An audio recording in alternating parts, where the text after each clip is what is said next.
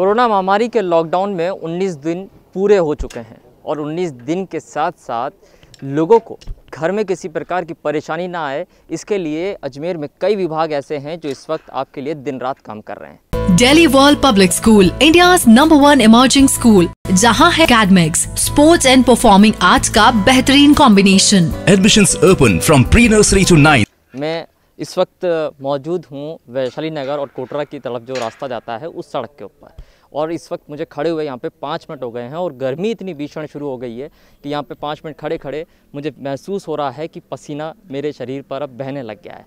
ऐसे में कई लोग ऐसे हैं जो इस वक्त आपके लिए कोई और दूसरी आपको दुविधा ना आए, इसके लिए इस वक्त काम कर रहे हैं। देखिए, इस वक्त यहाँ पर टाटा पावर के कर्मचारी हैं जो इस वक्त काम कर रहे हैं। गर्मी का मौसम शुरू हो गया है, पतझड़ का मौसम है और इस मौसम के अंदर तेज़ धूल भरी आंधियाँ शुरू हो जाती है। और उस आंधियों के दौरान देखने में आता है कि बिजली की जो व्यवस्था होती है वो ठप हो जाती है।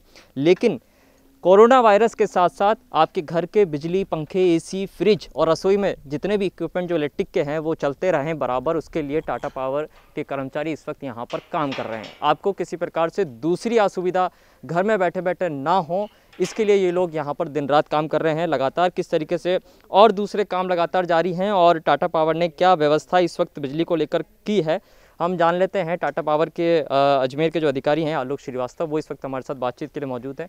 सर, सबसे पहले तो मैं जानना चाहूँगा कि अभी बिजली को लेकर क्या काम टाटा पावर की ओर चल रहा है? ये पेड़ की कटाई हो रही है, क्यों हो रही है? ये ऐसा है कि अभी ये वाला जो अप्रैल का जो महीना होता है, इसके इमीडिएटली बाद जो है आंधी वगैरह का मौसम शुरू हो जाता है। बरसात में हम लोग छटाई नहीं कर सकते हैं। जून की गर्मी में काफ़ी गर्मी पड़ती है, तब शटडाउन लेना मुश्किल होता है हमारे लिए। तो इसी वजह से हम लोग मार्च और अप्रैल के महीने में इस तरह पेड़ों की छटाई का कार्यक्रम करते हैं। ये हर साल का रूटीन प्रोसेस है जो एवरी ईयर होता है। इसके अलावा भी अपन अगर हम उसको सावन के महीने को छोड़ दें बरसात का मौसम जो है उसके बाद भी छटाई का कार्यक्रम चलता है ताकि लाइन में आकर के लाइन की ट्रिपिंग ना हो। मेन इसके पीछे कारण यही होता है। गर्मी का मौसम शुरू हो गया है लोड बढ़ने वाला है। लोड को लेकर क्या तैयारियाँ है? किसी प्रकार से लोगों को क्या बिजली कटौती का सामना करना पड़ेगा? नहीं अभी तक तो नहीं लगता है कि बिजली कटौती का कोई सामना करना पड़ेगा क्योंकि लगातार जनरेशन जो हो रहा है वो हो रहा है और जनरेशन सप्लाई भी हमारे पास आ रही है। अगर वहाँ के प्लांट्स में अगर हमें कोई किसी तरह की दिक्कत आती है, उत्पादन अगर बिजली का बंद हो जाता है, उस वक्त कोई संभावना ऐसी बन सकती है जिसकी अभी हाल फ़िलहाल मुझे ऐसी कोई उम्मीद नज़र नहीं आ रही है किस तरह का कोई यहाँ पे उधर से व्यवधान आएगा। अजमेर शहर की अगर मैं बात करूँ स्पेशली तो यहाँ हम लोग अभी जो सप्लाई दे रहे हैं, वो चौबीस घंटे सप्लाई जा रही है पूरे वीक के और कंटिन्यूस सप्लाई दे रहे हैं। हमारी मेंटेनेंस टीम जो है, वो तीन शिफ्टों में जैसे अभी जो काम करती थी रूटीन में, लेकिन इस वक्त हम लोगों ने अपने इसको लॉकडाउन को देखते हुए मिनिमम स्टाफ के सीमित संख्या में स्टाफ लगा रखा है। तो आठ आठ घंटे की शिफ्ट जो होती है उसको बढ़ा दिया है शिफ्ट को और अल्टरनेट डेज़ में हम लोग उन लोगों से काम करा रहे हैं। जैसे आज जो टीम काम कर रही है वो कल नहीं आएगी यहाँ पे। हम्म, हम्म। कल कोई और टीम काम करेगी। इससे ताकि उन लोगों को आना भी कम पड़े मिनिमम घर से बाहर निकले। इस तरह देखते हम लोग उसको कर रहे हैं। ऐसे में क्या ऐसी बात भी सामने आई कि कुछ कर्मचारियों ने मना मना किया इस दौरान कोरोना महामारी के दौरान के काम करने नहीं आएँगे? या तमाम लोग तैयार हैं ऐसी कोई हमारे पास शिकायत नहीं आई किसी भी तरह की एम्प्लॉय ने कम्प्लेट नहीं करी और सब लोग आगे से बढ़ के अपने देने को तैयार हैं। क्योंकि ये हमारा जो विद्युत विभाग है ये इस तरह का विभाग है जिसमें कि हम चौबीस घंटे और सप्लाई देनी होती है। अगर आज की तारीख में जैसे अपना इफ़ेक्ट चल रहा है लॉकडाउन की वजह से सप्लाई नहीं दे पाए तो हॉस्पिटल्स बंद हो जाएँगे। हॉस्पिटल में सप्लाई अगर नहीं गई तो आईसीयू वेंटिलेटर्स पे जो जो मरीज़ पेशेंट हैं उनको भी दिक्कत आ जाएगी। जो पुलिस डिपार्टमेंट है उसमें भी दिक्कत आएगी। हर जगह दिक्कत आएगी।